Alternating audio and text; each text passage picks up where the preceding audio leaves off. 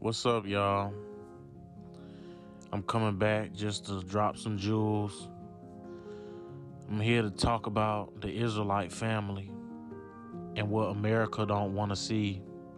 They don't want to see that strong black man, that successful black man, definitely with a black woman and kids striving. They want us to fail.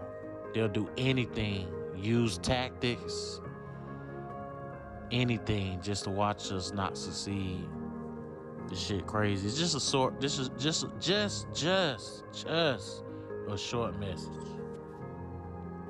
I can only imagine what some of y'all black men be going through inside. The country, the world against you, the women in your family, they may start up little drama. They play dumb as if they don't know what's going on as far as how you got to worry about people not in your pockets, people not playing mind games.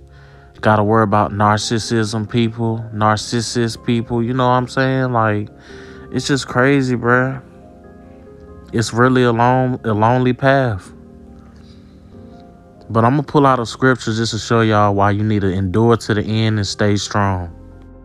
Sirach, chapter 2 My son, if thou come to serve the Lord, prepare thy soul for temptation.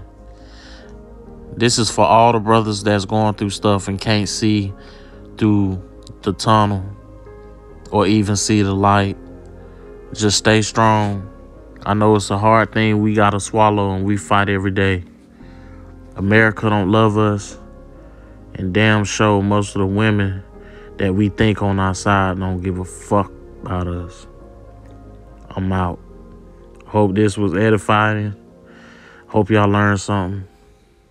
Catch y'all on the next round.